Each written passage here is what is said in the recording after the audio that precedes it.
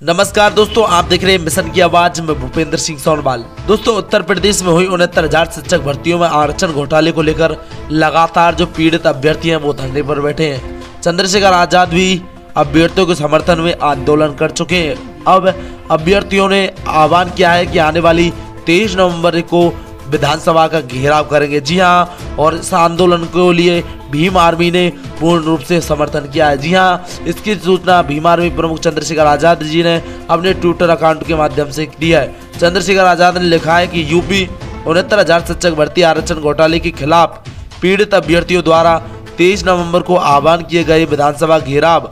आंदोलन का भीम आर्मी एवं आज़ाद समाज पार्टी का पूर्ण समर्थन है। जी हाँ ये चंद्रशेखर आज़ाद ने ट्वीट करके कहा है, क्योंकि लगातार जो पीड़ित अभ्यर्थी हैं, जिनके साथ ये घोटाला किया गया और जो भर्तियों के साथ घोटाला किया गया, जो अभ्यर्थी लगातार धरने पर बैठे हैं, उनके साथ चंद्रशेखर आज़ाद ने पहले ही उनका हाथ थाम लिया और चंद्रशेखर आज़ाद ने उनके आंदोलन का समर्थन भी किया है। जी हाँ बहुजन समाज से जुड़ी हर खबर के लिए हमारे चैनल को सब्सक्राइब करें। देखते रहिए मिशन के बाद साथ में भूपेंद्र सिंह सोनवाल। जय भीम, जय भारत, जय संविधान।